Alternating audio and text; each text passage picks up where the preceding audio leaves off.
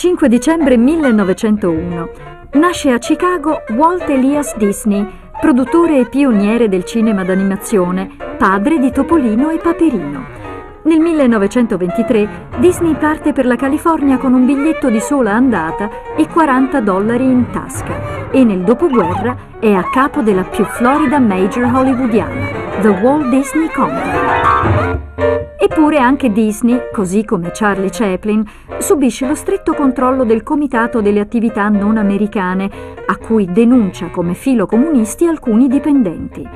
Muore a Los Angeles, in California, il 15 dicembre 1966. Bellissimo.